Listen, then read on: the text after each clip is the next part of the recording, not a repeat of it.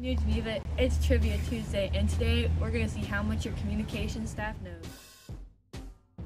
And the question is, what does an imperative sentence end with? Uh, a period or an exclamation mark. Correct. And the question is, what is the eighth planet in our solar system? Neptune. Correct. And the question is, what sport is dubbed the king of sports? Football. Soccer.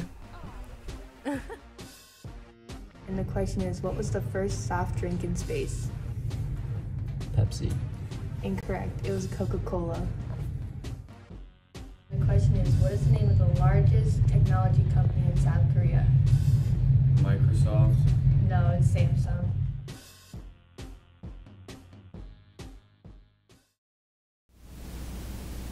Good afternoon, Geneva. Attention GHS students, the yearbook staff is in need of your Halloween related pictures.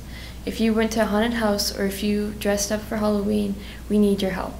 Email your Halloween pictures to Owen Emmett at 23emmett at genevaschools.org and you will be featured in the yearbook.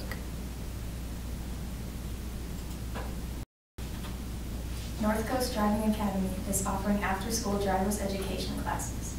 The first class begins November 8th and will run through the 18th. The website is currently down, so if you would like to sign up or if you have any questions, please call or text 440-855-8959. Lakeland Community College and Malone University College will be here on Tuesday, November 9th. If you are interested in learning more about these schools, please sign up on Google Classroom. Have a great day, Geneva.